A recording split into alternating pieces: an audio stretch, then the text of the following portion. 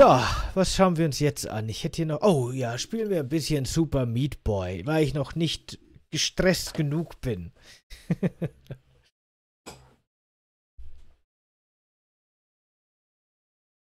Anspielung auf den ersten Batman-Film von Tim Burton. Was denn? Was war denn eine? Die kenne ich, habe ich gar nicht mehr, weiß ich nicht.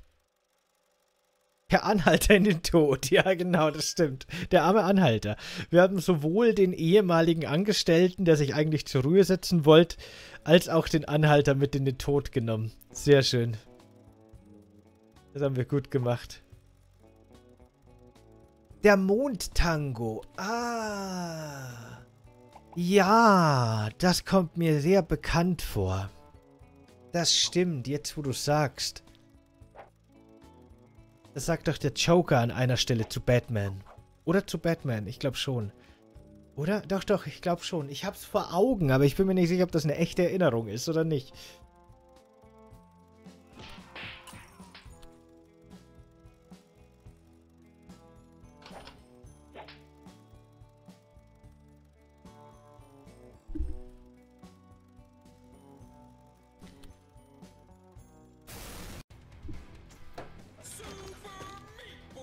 Super Meat Boy ist schon ziemlich cool. Super Meat Boy hat schon echt irgendwie große Wellen geschlagen damals. Das war eins der, der ersten ganz großen Indie-Spiele, als diese Indie-Welle losging, bevor Indie quasi fast schon ein eigenes etabliertes, naja, Genre, Subgenre ist Blödsinn, aber wie soll man sagen, ein eigener Bestandteil der Videospiellandschaft wurde, hat Super Meat Boy da irgendwie schon große Wellen geschlagen und gezeigt, wie so ein moderner Plattformer heutzutage funktionieren kann, wenn man es richtig macht.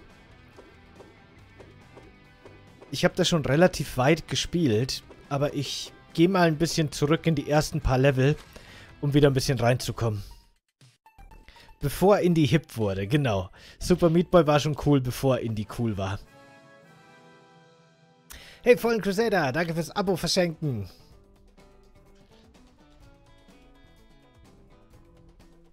Ich glaube, die ersten Level können wir uns eigentlich sparen, oder? Wisst ihr was? Ich mache das erste Level.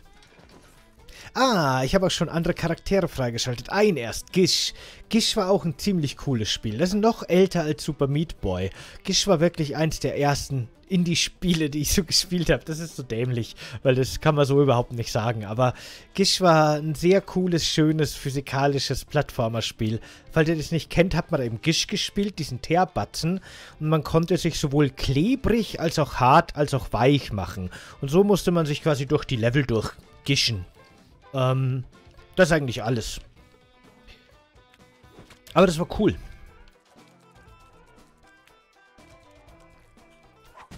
Für Super Beat Boy ist ja auch schon Super Beat Boy, auch nicht schlecht. Für Super Meat Boy ist ja auch schon seit ungefähr 100 Jahren der zweite Teil in der Entwicklung. Die Entwickler machen schon selber Scherze drüber, dass es wahrscheinlich nie mehr kommen wird. Doch, doch, das kommt angeblich dieses Jahr. Mal schauen.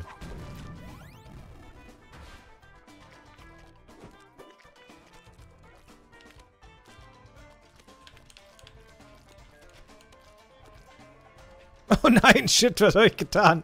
Ah! Okay, die Steuerung ist ein bisschen gewöhnungsbedürftig erst wieder. Aber das Spiel hat eben einen Flow. Es ist schnell, es ist, es ist cool. Wenn man stirbt, geht sofort wieder los. Keine Wartezeiten. Das ist cool. Und das war damals nicht selbstverständlich. Das war was sehr Neues sogar. Und es gibt Warp Zones. Und dann spielt man Super Meat Boy im Retro-Format.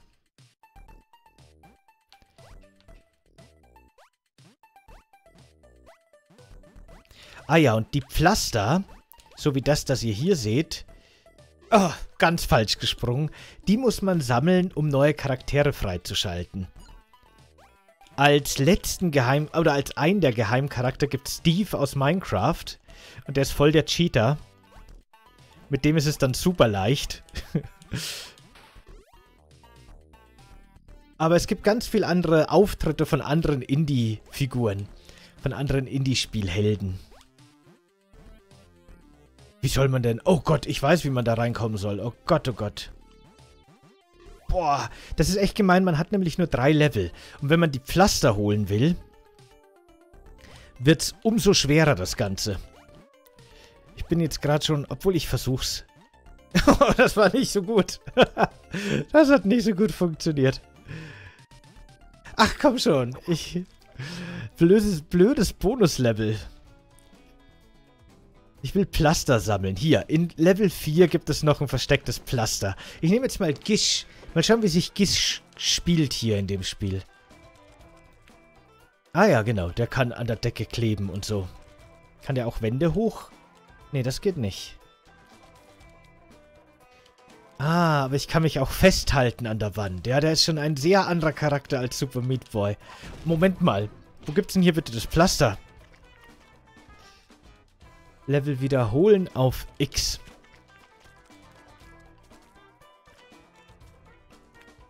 Sagt mir Bescheid, wenn ihr irgendwo ein sammelbares Pflaster seht. Oder bedeutet das Pflaster auf der Weltkarte, dass ich hier das Pflaster schon gefunden habe? Oder dass ich es noch nicht gefunden habe. Das ist die Frage. Aber das würde dann bedeuten, dass ich das in vielen Level noch nicht gefunden habe. Vorausgesetzt, es gibt überhaupt Pflaster in diesem Level. Ah, Kopf explodiert. Verbände 7 von 20. Dann gibt es wirklich in jedem Level Pflaster. Wo steht dann bitte in Level 1 das Pflaster zum Beispiel? Wobei im Bonuslevel gibt es auch Pflaster. Dammit. Das Spiel ist so kompliziert. Okay, ich bin gestorben. Also hier gibt es kein Pflaster. Ich weiß nicht mehr, wie die Pflasterregeln sind in dem Spiel, leider.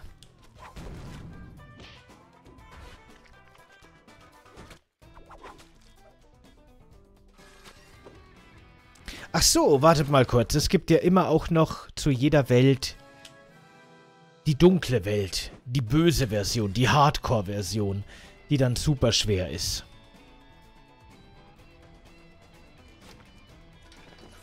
Die versuchen wir mal. Das wird bestimmt lustig. Oh Gott. Na wunderbar.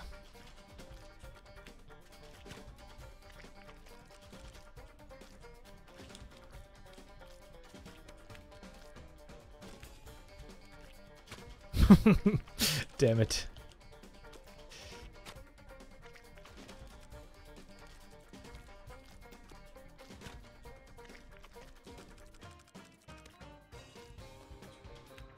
Ah, Mist. Komm schon. Das geht bestimmt auf einmal. Da müssen wir nur den richtigen Flow finden. Ja, sehr gut. So. Nächste tricky Passage. Ah, ist das gemein. So. Ah, come on.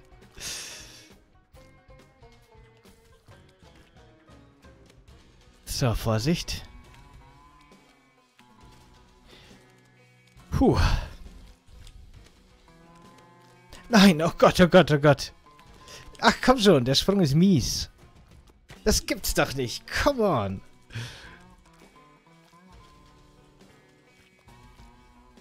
So. Okay.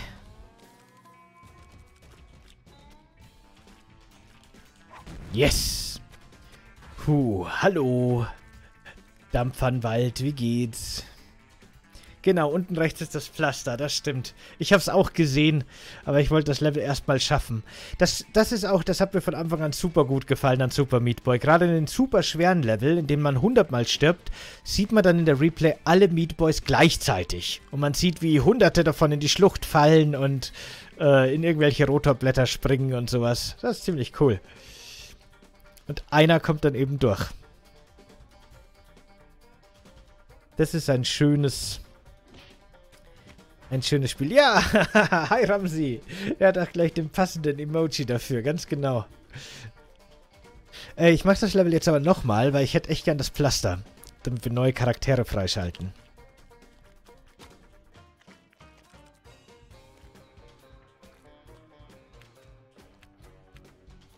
Auch wenn das natürlich super schwer ist und super gemein platziert, das Pflaster. Wie fast alle Pflaster. Aber wenn man die coolen Charaktere freischalten will, muss man das schon machen.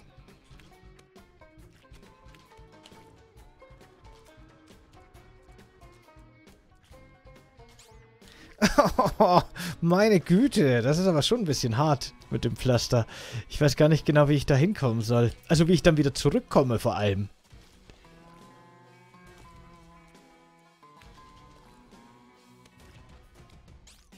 Oh, damn it. Das ist schon ein bisschen krass. Ja, nein, doch, ja, okay. Oh, Und jetzt hier noch durchkommen ohne zu sterben. Oh Gott. Nein! Oh, damn it. Oh, shit.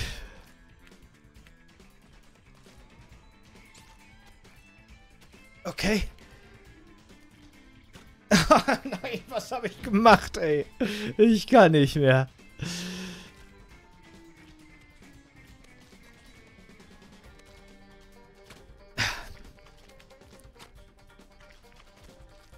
Ich hasse Level, wo ich nicht gleich loslegen kann, wo ich vom Zyklus her kurz warten muss. Hasse ich. Dammit.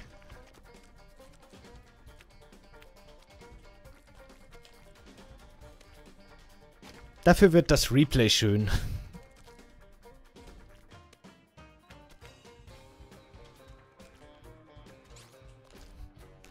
Nein, shit, ich hab's nicht geschafft.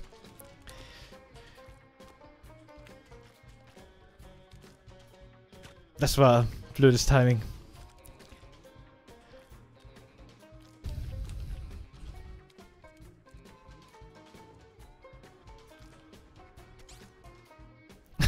ich weiß nicht wohin. Ich wusste nicht. Das wäre nicht gut gegangen.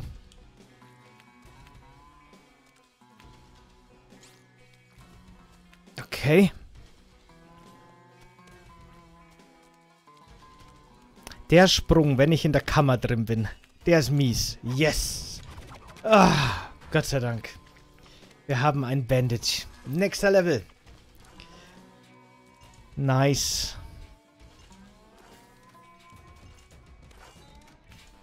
Oh nein, ich habe die Replay weggedrückt vor lauter Tatendrang. Die hätte ich jetzt gern gesehen, aber wir haben noch, kriegen noch genug Replays.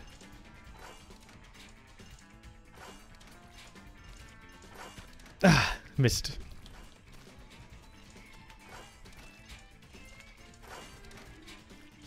Damn it.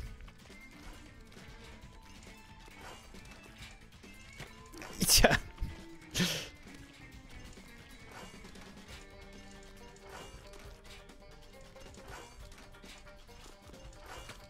Voll gemein. Ich konnte nicht mehr raus aus der Situation.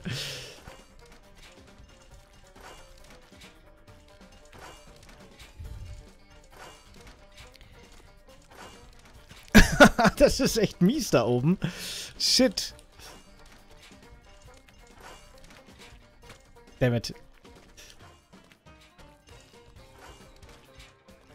Sehr schön.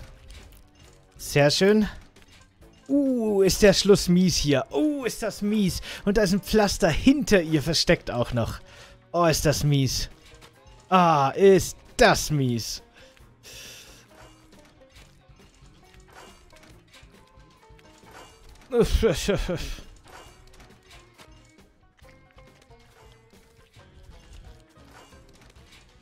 ja. Ja. Ja. Okay. Shit, ey. Nee.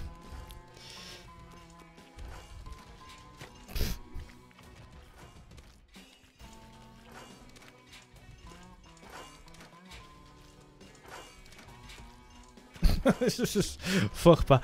Wenn ich den Sprung in der zweiten Ebene nicht perfekt hinkriege, den da, dann verpasse ich den perfekten Zyklus hier oben. Genau. Ah, oh, der Sprung ist so, das ist so hardcore. Die spinnen ja alle miteinander. Das gibt's ja nicht.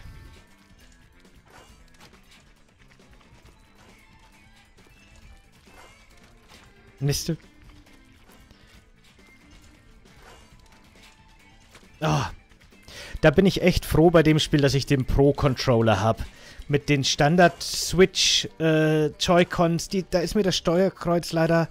Also ich weiß nicht, ich kann damit nicht umgehen einfach. Die sind mir zu klein irgendwie, glaube ich. Ich weiß nicht.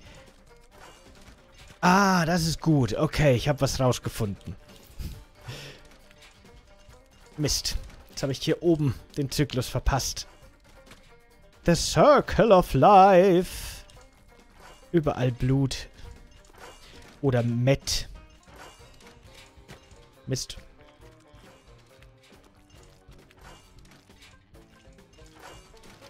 Hm.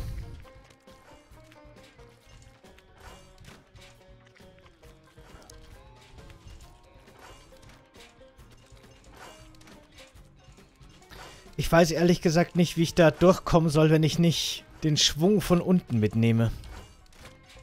Das ist super schwer.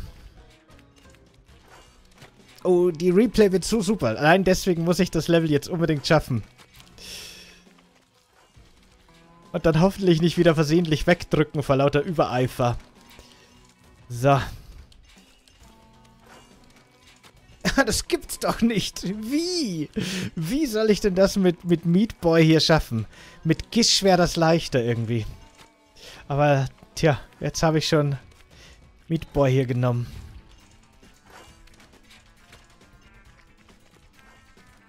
Das ist doch ziemlich cool, dass ich das jetzt alles überspringen kann. Aber dann passt irgendwie mein...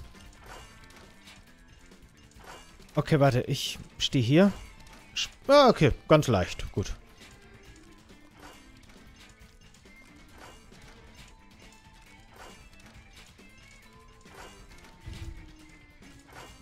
Nein, Mist. Ich bin nicht über sie drüber gekommen. Ich wollte zum Pflaster, aber gut. Da sind sie. Die Masse an Meat Boys.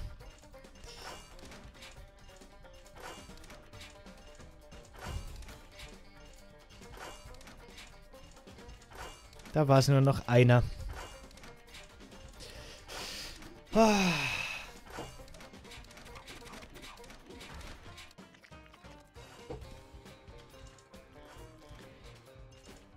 Weiter. Ich hätte jetzt einen Puls von over 3000. Ich glaube, ich auch, ja. Wer bin denn ich? Ach so, ich bin der da.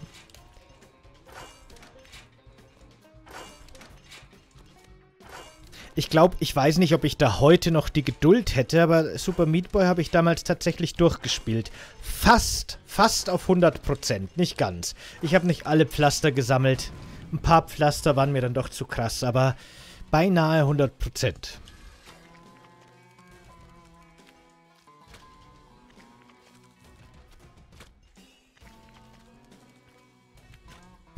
Na super.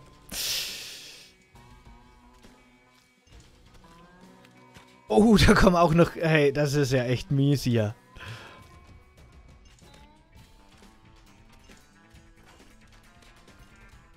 Ah, die, die, die bescheuert.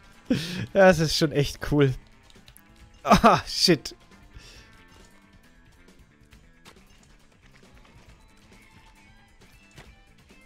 Unglaublich. Vielleicht könnte man hier ein bisschen tricksen. Nee, nicht wirklich. Ja, aber das funktioniert ganz gut.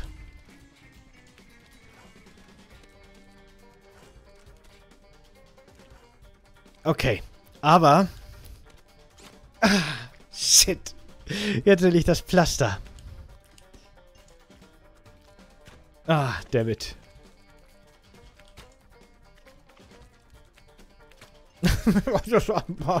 Komm schon.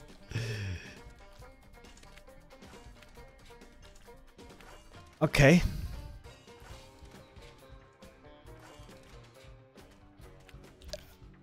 Ah. Ah. Wie komme ich jetzt hier wieder raus? Aus der Situation. Yes! Oh Gott. Oh Gott.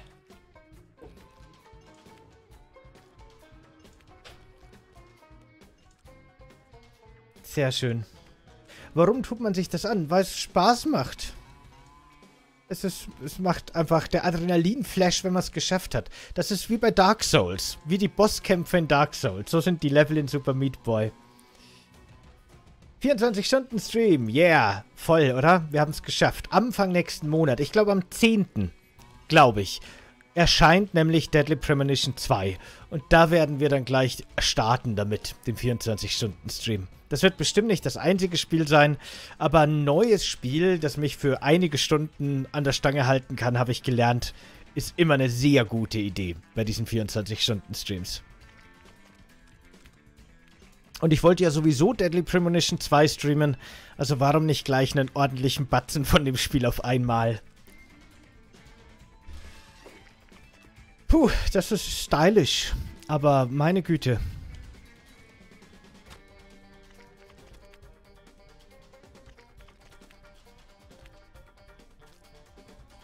Oh yeah!